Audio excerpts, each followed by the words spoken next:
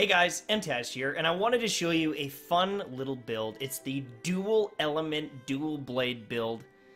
Is it amazing? I don't know. Someone's gonna come in the comments and tell me that this build is absolute shit, but I like it. I'm also gonna show you two different armor sets if you want to use them. Uh, you know, you could you could really change it up however you want, but my biggest reason for using this is I find the weapon extremely potent against certain enemies. One of the reasons why is because of the ice element that's on it. So let's just jump right into it. The weapon I'm using is fire and ice. And it's pretty unique because not only does it have a very hefty ice element built into it, but it also has blast as well. Essentially, as you attack your target, you're going to build up a meter. Well, you won't see this meter, but you're going to build up a damage threshold, and once you proc it, pow! You're going to do a nice chunk of blast damage, and for the most part, both Blast and Ice are effective on almost everything. There's not a lot of things that are strong against Ice. I think it's the least resistanced element in the game. So having an Ice weapon is always a good idea. The only thing that's slowing this down a little bit would be the sharpness of the weapon. But honestly, blue is good enough for a lot of the enemies. And while you might uh, kind of bounce off of things like the horn of a Kirin. Most enemies, you're going to be able to hit their body just fine. And against something like the Odogaron, I'm never going to pronounce this properly, it is fantastic. I didn't bounce once. I was able to smash through his HP bar very quickly with this build. And I loved it. So let's look at what we've got. We've got the Kushala Glare.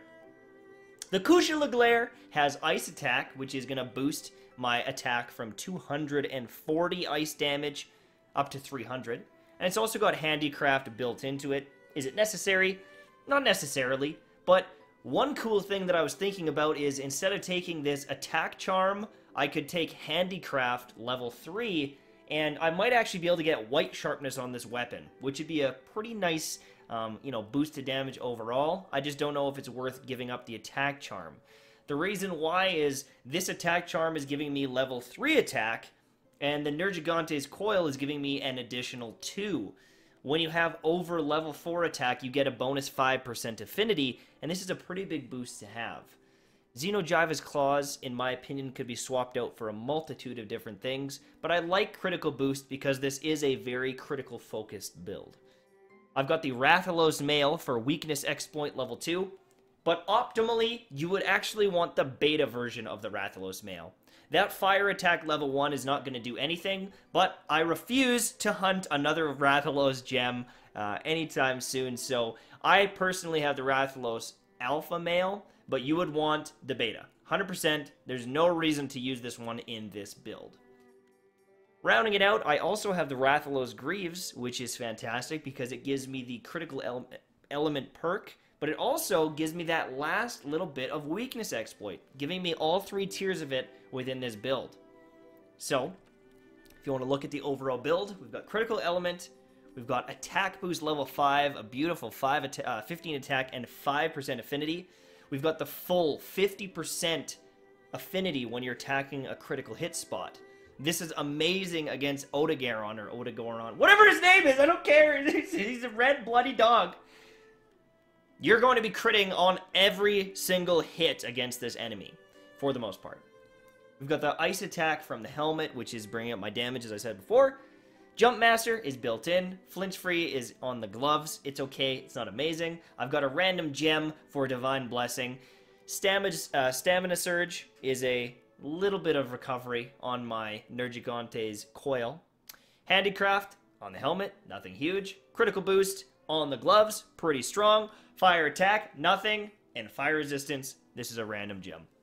Now I want to show you a little bit of footage as I absolutely melt a couple of enemies here. Oh wait, it's only one enemy. Odogaron, or whatever his stupid dog name is. The damage is unbelievable. Is it going to be this strong against every single enemy? No, but he is weak against the ice element, so I'm tearing through him. I love this build. I love the damage. I just feel like it's got that uniqueness to it, having, the, you know, dual elements on a dual blade. One of the issues with this build is you're not the strongest in the defensive parts. Uh, you've got very negative Dragon, very negative Thunder, and without a proper gem, your overall fire resistance would be pretty bad too. Now, a couple small, small changes to the build. Really, is this better? Is it worse? It's tough to say. Uh, is swapping out a couple of the Rathalos pieces um, and the Kushala Daora helmet for the Dragon King's eye patch and the Dober mail. Now, the nice thing about this is it opens up a couple of slots that allow me to get some um, gems in there to boost my ice damage through gems. It also is giving me slightly more base attack. Um, and you know, you're, you're really not missing out on a lot here. Essentially, you're missing out on handicraft overall. But now I've got attack boost 7. Weakness exploit. Ice attack 2 is coming from some gems. I've got a little bit more stamina surge because I actually have another gem that's placed into my Dragon King's eye patch. I've got pretty much all of the same perks. I got rid of that wasted fire perk. This build, in my opinion, might be even stronger. Some of the resistances are a little bit better. And, goddamn, do I look sexy. So, this is another build that I found uh, very effective when using fire and ice. Is it perfect? Is it the best? I don't know. I suck at this game. I suck. I suck. But I wanted to share with you guys. Hopefully you enjoyed, and I'll see you soon, my friends.